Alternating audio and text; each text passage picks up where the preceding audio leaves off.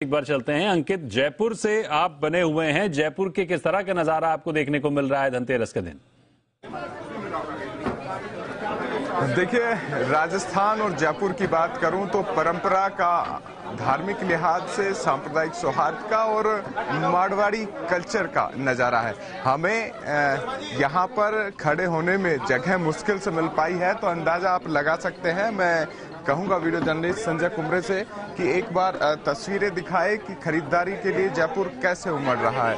इस बार बेहद खास यहाँ पर धनतेरस और पूरा दीपोत्सव रहने वाला है और यही वजह है कि दीपोत्सव पर नई खरीदारी के लिए और नए उजास के लिए, उल्लास के लिए पूरा जयपुर तैयार है और कई नई डिजाइन्स यहाँ पर आई हुई है, जो शुभ खरीदी को बना रही है। हमारे साथ जतिन मोसून है, इनसे भी जान लेते हैं। जतिन जी, एक तो बड़ा खूबसूरत आपने नेकलेस पहना हुआ है। पुरुषों के गले में बेहद कम दिखता है, खास अवसर खास तौर पर शादी विवाह। और अब चूँकि उत्सव है तो उसके बीच में क्या नया है इस बार?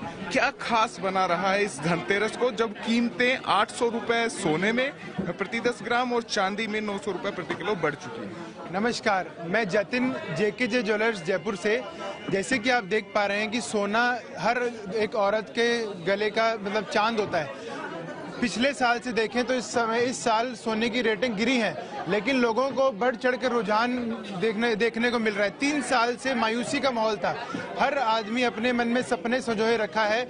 इस दिवाली पे लोगों को काफ़ी उम्मीदें और ये दिवाली उम्मीदों पे काफ़ी खरी उतरी है। नया क्या है? जानना चाहेंगे क्योंकि जयपुर खासतौर पर परंपरा के लिए आधुनिकता के लिए और उस मिश्रण के लिए और जड़ाऊ गहनों के लिए जाना जाता है। इस बार क्या नया है? क्या खास? अगर आप देख सकें इस बार हमने काफ़ी काफ़ी नई रेंज लॉन्च करी है। इसके अंदर जड़ाऊ एंटिक और अपने कलर स्टोन्स चारों का कॉम्बिनेशन देके जो मीनाकारी है जयपुर की प्रसिद्ध उसको देख के काफ़ी एक नई चीज़ बनाई है। इसके अंदर आप देख सकते हैं कि हमने ये नीचे एमरल्ड का काम दिया है।